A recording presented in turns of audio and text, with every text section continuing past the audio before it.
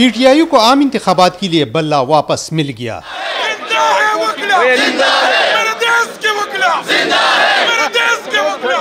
Peshawar high court ने intra party इंतबात और इंतबी निशान से मुतल इलेक्शन कमीशन का फैसला कलदम करार देकर पी टी आई की दरख्वास्त मंजूर कर ली। हाई कोर्ट ने फैसला में लिखा इलेक्शन कमीशन का फैसला गैर कानूनी है, क्योंकि इलेक्शन कमीशन के पास फैसले का इख्तियार नहीं था। पीटीआई रहनमा बरिस्टर अली ज़फ़र ने कहा कि इलेक्शन कमीशन ने ज़बरदस्ती इंतबी निशान लिया था, लेकिन पिशावर हाई कोर्ट ने इंसाफ की रवायत बरकरार रख कर बला वापस दिला दिया। सिंबल बैट का पीटीआई से लिया था ज़बरदस्ती और गैर कानूनी ऑर्डर के ज़रिए छीना था।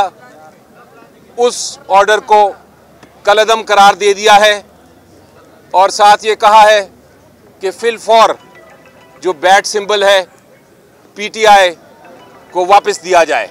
फैसले में पिशावर हाई कोर्ट ने इलेक्शन कमीशन को हुक्म दिया है कि पीटीआई का सर्टिफिकेट वेबसाइट पर जारी करके बल्ले का निशान अलाट किया जाए, क्योंकि पीटीआई बल्ले की निशान के हकदार है। कैमरामैन सईद अख्तर के साथ शहबुद्दीन, आज न्यूज़ पिशावर।